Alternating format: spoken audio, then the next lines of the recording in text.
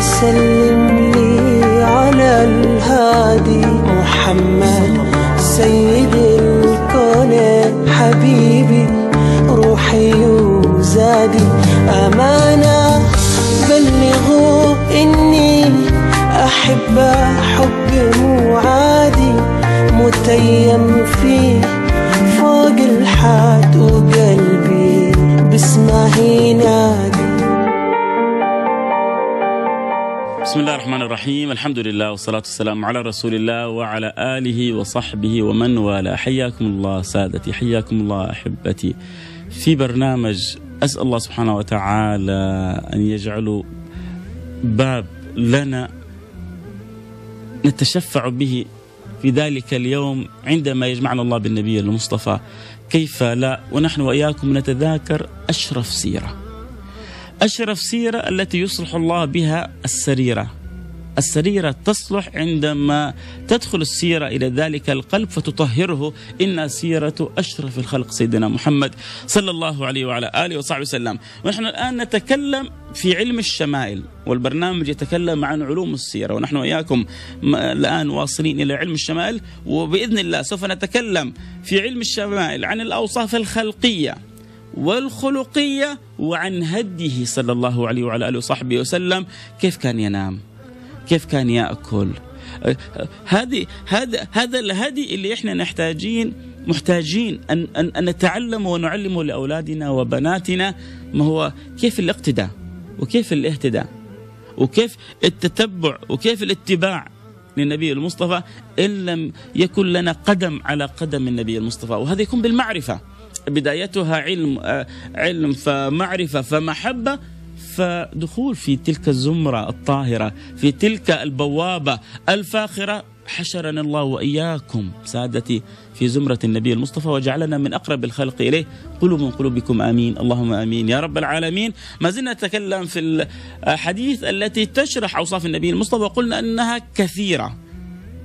ويعني كل صحابي يتفرد بشيء عن عن عن الآخر. فمن الأشياء حقيقة الجميلة التي رويت وذكرت ما ذكره سيدنا علي في وصفه للنبي المصطفى صلى الله عليه وعلى آله وصحبه وسلم في الأوصاف والأحاديث الطويلة تعتبر أو يعني التي فيها شيء من الطول أم معبد.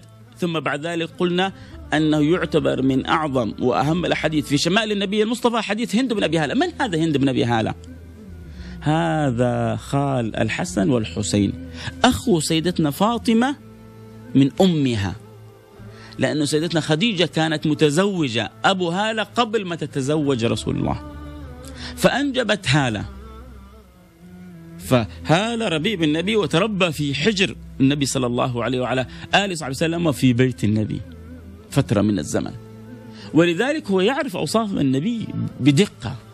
وفوق هذا كله هو ربي أعطاه من البلاغة وقوة المنطق وجماله ما جعله يكون رجل وصاف مبدع في الوصف.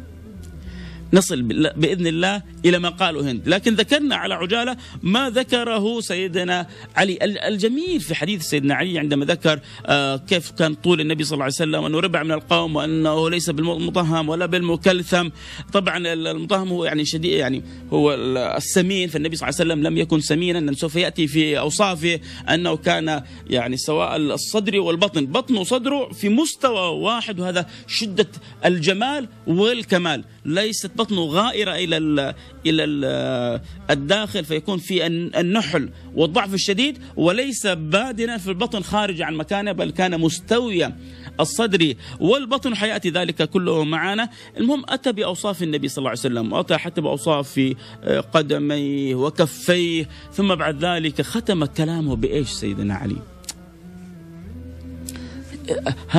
هذا عندما يقولون أبلغ العرب. سيدنا علي بن أبي طالب صدقوا أفصح العرب بعد النبي المصطفى سيدنا علي بن أبي طالب صدقوا ماذا يقول؟ ختم حديثه بإيش؟ قال من رآه بديهة هابه ومن خالطه معرفة أحبه. كلهم يختموا حديثهم بالعبارات مع إنه كل واحد يتكلم لوحده. سيدتنا أم معبد ماذا تقول؟ أجملهم وأبهاهم من بعيد وأحسنهم وأحلاهم من قريب. الله الله الله عليك يا أم عبد. من بعيد تشوف الجمال والبهاء ومن القرب تشوف الحلا والحسن. ما, ما هو يحسوا هم بعد ما يقولوا كل الأوصاف هذه إن هم مش قادرين يعبروا عن حقيقة النبي المصطفى. يحسوا إنه مهما عبروا عن أوصافه ما وفوه حقه. والله ما حد وفاه حقه.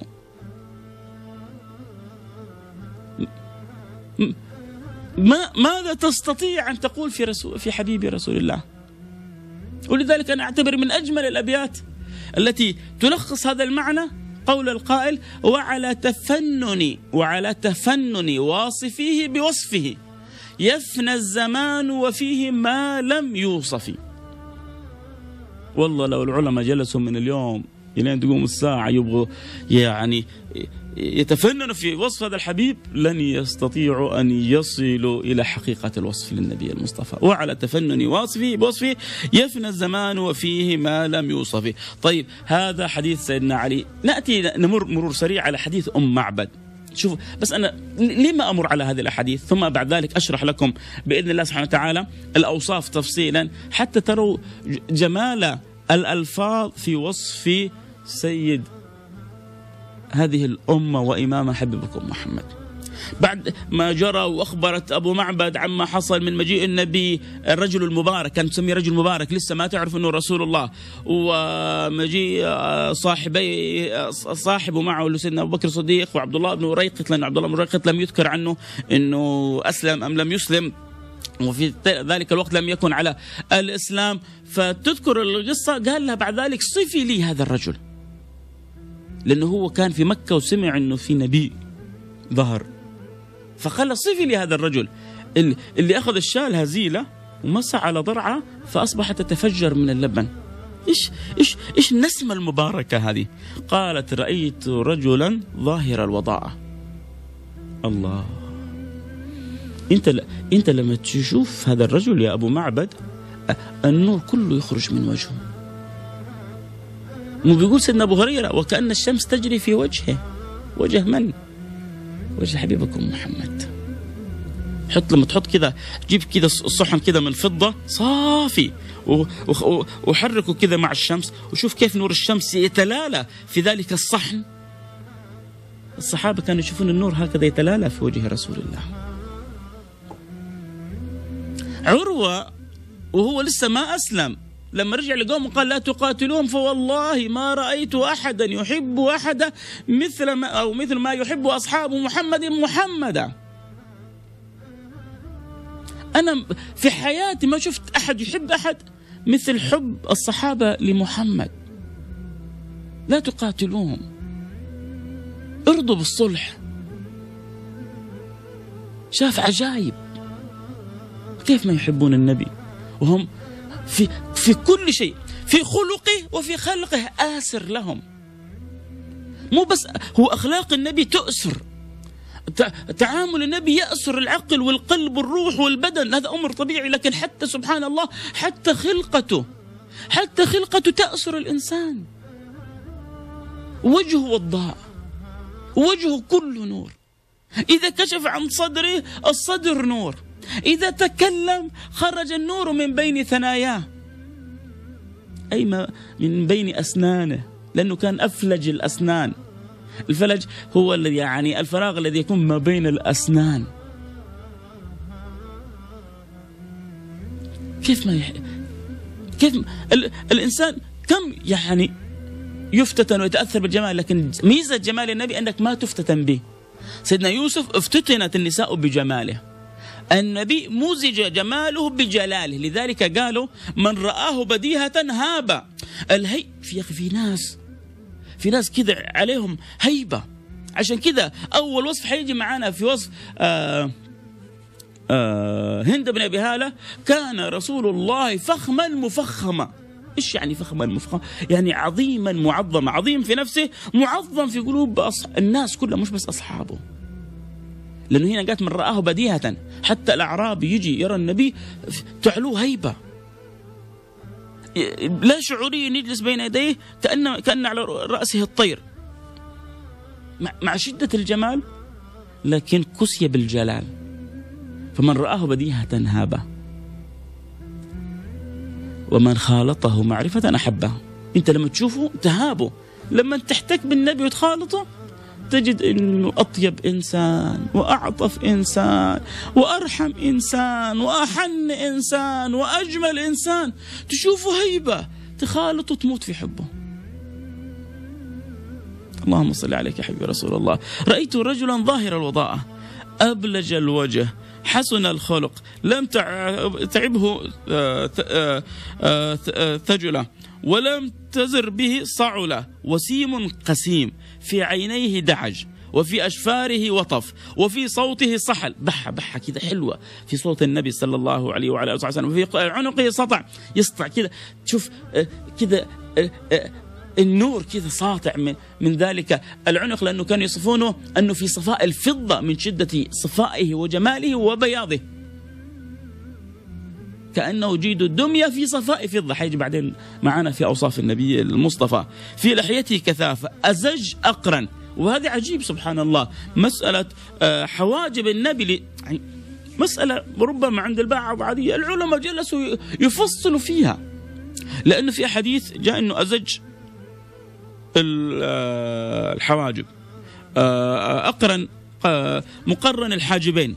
وفي أحاديث لا إنه ما في ما ما في بينهم صوابغ من غير قرن. طيب في قرن ولا ما في قرن؟ طيب كيف نجمع ما بين ودخلوا وفصلوا وإن شاء الله حنوصل لها بإذن الله سبحانه وتعالى. لكن إيش الاهتمامات لأدق التفاصيل؟ يا جماعة إنه محمد.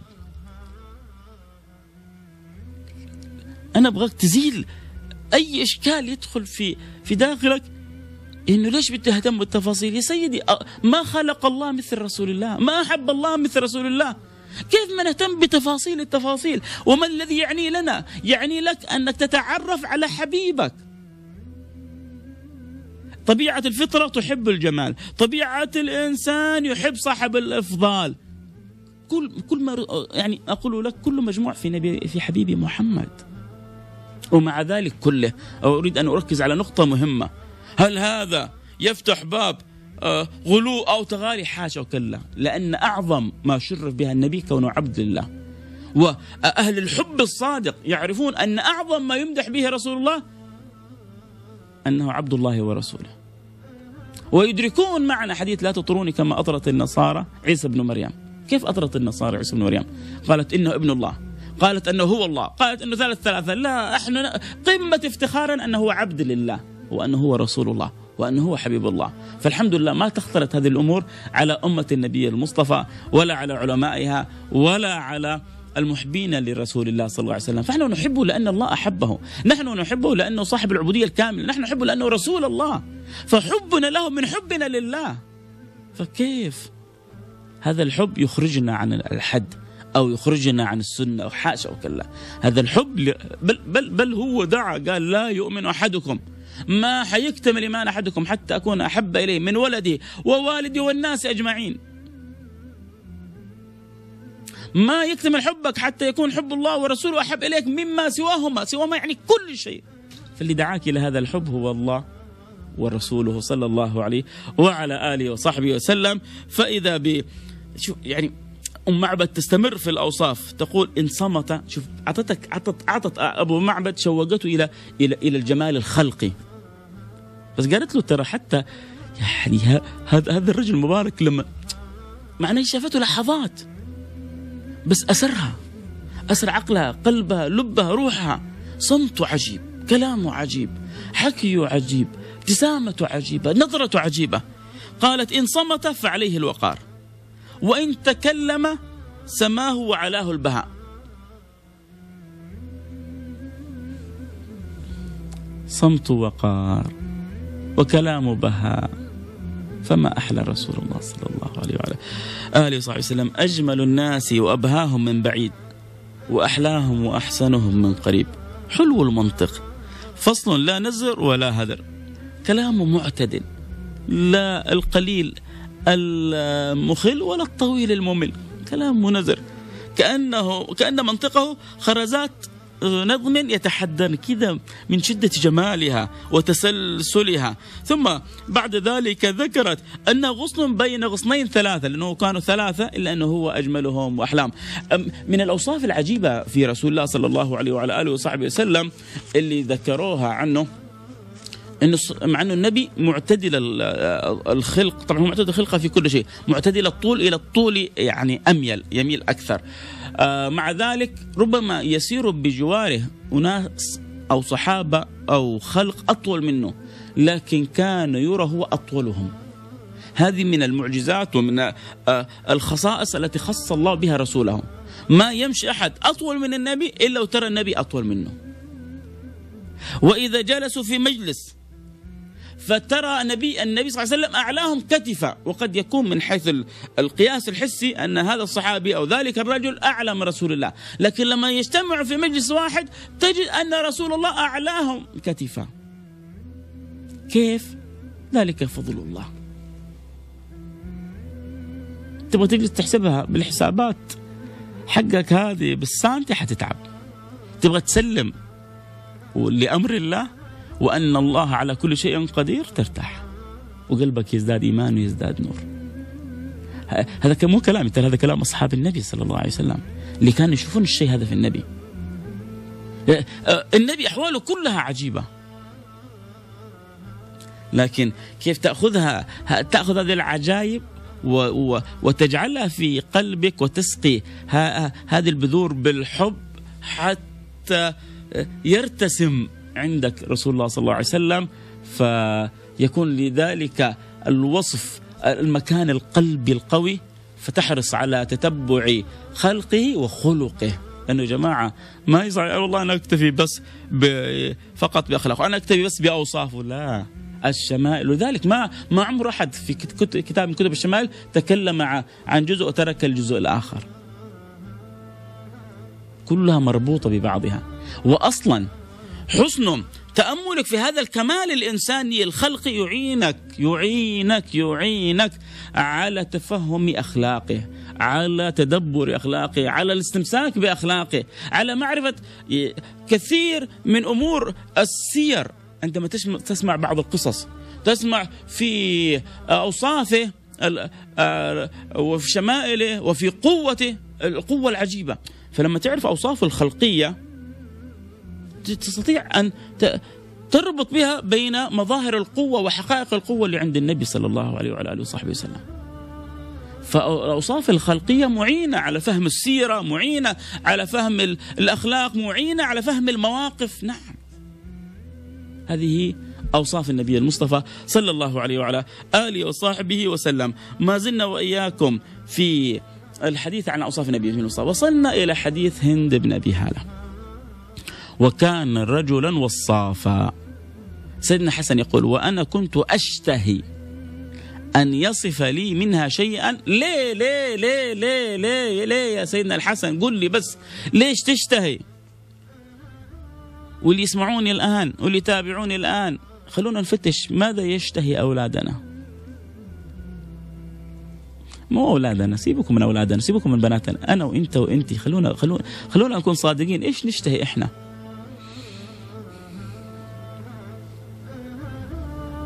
الله, الله يصلح حالي أنا أولكم. الله يصلح مشتهياتنا. الله يصلح مبتغياتنا. لو تعلمنا أن نشتهي التعرف على النبي لسعدنا الدنيا وآخرة.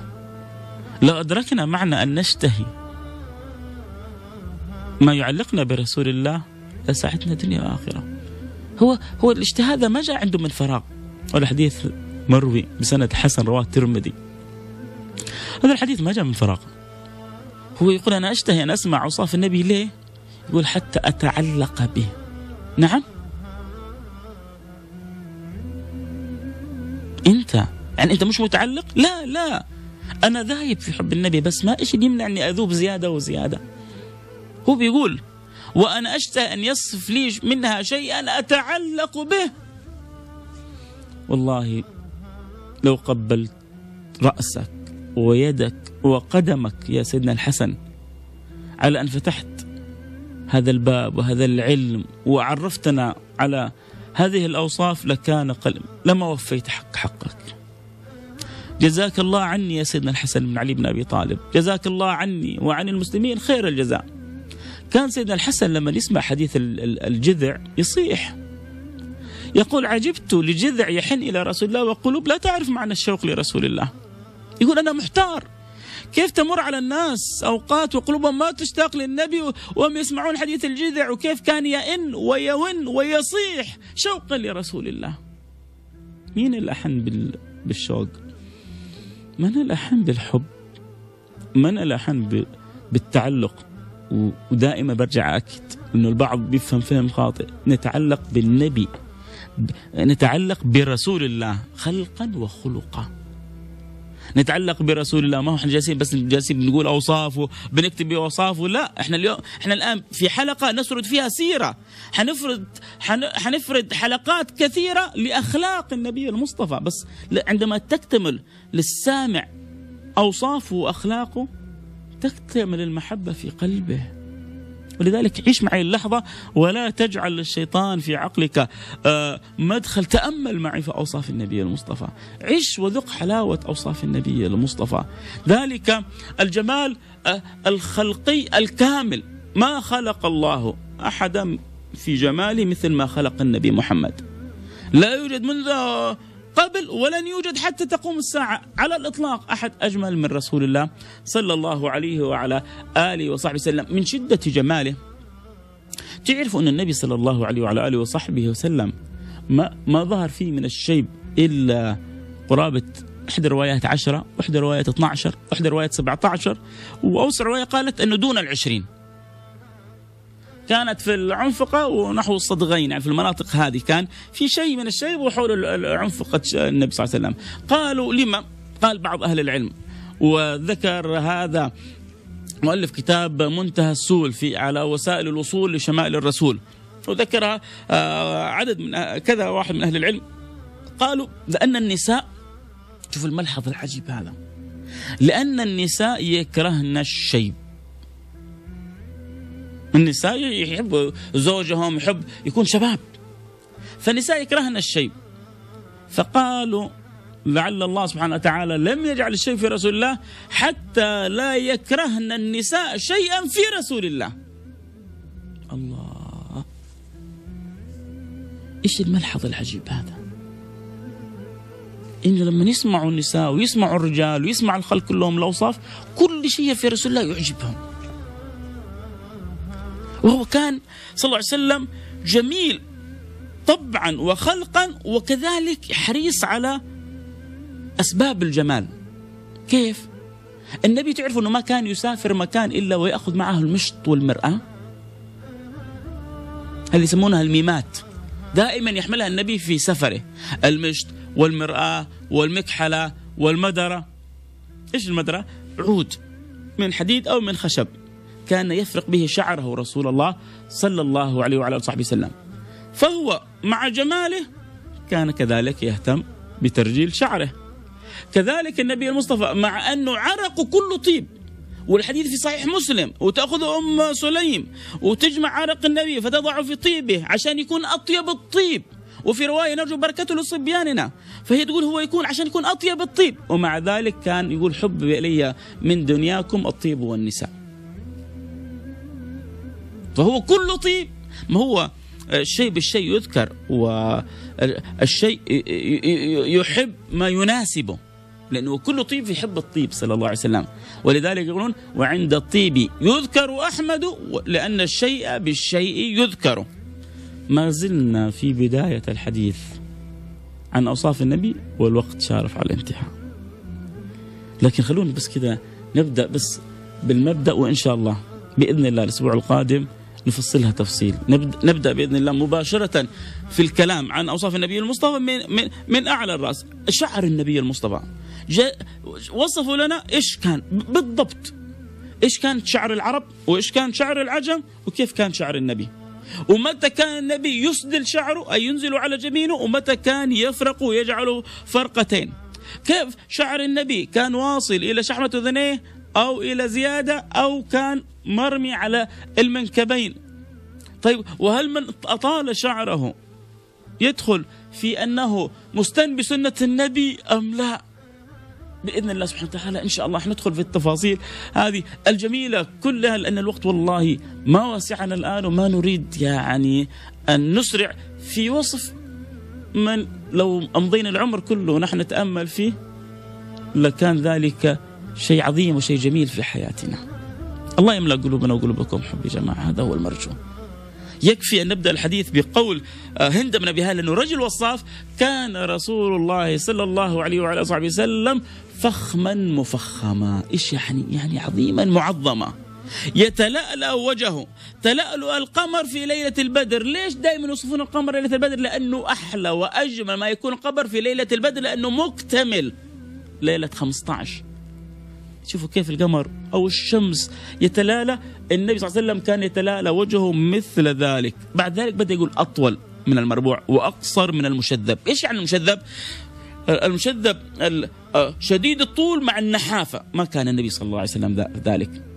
ما كان بالقصير ولا بالشديد الطول. كان مربوع القامة إلى الطول أميل. ثم ثم نواصل الحديث بإذن الله سبحانه وتعالى. في الحلقة القادمة. الخلاصة من هذا الكلام أن التعرف على سيد الأنام باب من أبواب محبته باب من أبواب الارتباط به. ونريد أن ندخل من هذا العلم من علم الأوصاف إلى علم الأخلاق. ونحرص أو نحن وإياكم أولادنا وبناتنا على تتبع الهدي والسنن والسنن والهدي والنهج. حتى نكون من أقرب الخلق. أقربكم مني مجلسا يوم القيامة أحاسنكم أخلاقا. حسن الله خلقنا وأخلاقنا. اللهم آمين. يا رب العالمين. وفقنا وإياكم لما يحب ويرضاه. نلتقي على خير. السلام عليكم ورحمة الله وبركاته. أمانة قلبي العاشق تسلم لي على الهادي محمد سيد الكون حبيبي. روحي وزادي أمانة بلغوا إني أحبك.